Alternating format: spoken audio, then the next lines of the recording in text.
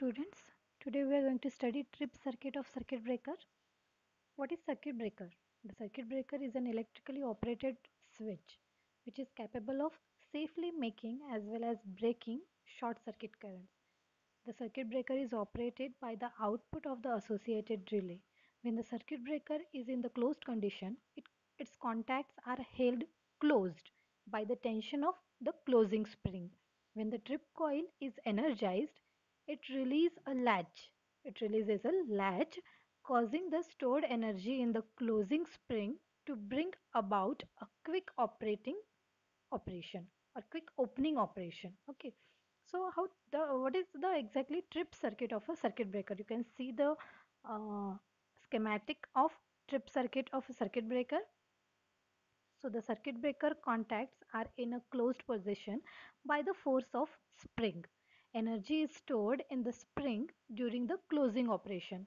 In order to trip the circuit breaker, it is necessary to release a latch either manually or by energizing the trip coil of the circuit breaker.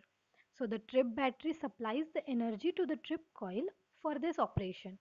The relay output contact is wired in series with the trip battery as you can see in the uh, figure it is in series with the trip battery as well as with the trip coil. Thus when the relay operates the, re uh, the trip coil gets energized and the circuit breaker quickly parts its contact. The mechanical arrangement is quite complicated but uh, I showed you uh, with the figure okay so after that uh, we need to see organization of protection so here we can see organization of protection so this is the figure which shows the organization of protection so the protection is must organized in a very logical fashion the idea is to provide a ring of security around each and every element of the power system. If there is any fault within this ring, the relays associated with it must trip all the allied circuit breakers so as to remove the faulty element from the rest of the power system.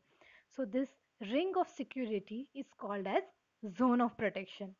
So you can see the figure Here we use a simple differential relay for the protection of transformer. Without going into the detailed working of this uh, differential relaying scheme, uh, we uh, means uh, here we are not explaining the differential scheme. We are just explaining the organization, how we need to organize during the internal as well as the external faults. Okay. So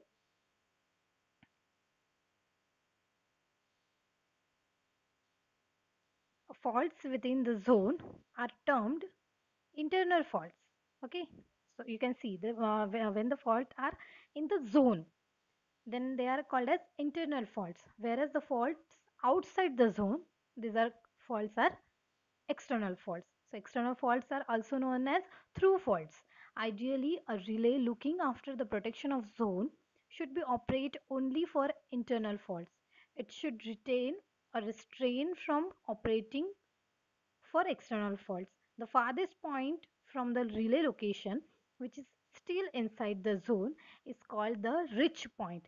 The, the, the distance between the relay location and the reach point is termed as the reach of the relay. Okay. So this is uh, the distance between relay location and reach point is called the reach of the relay.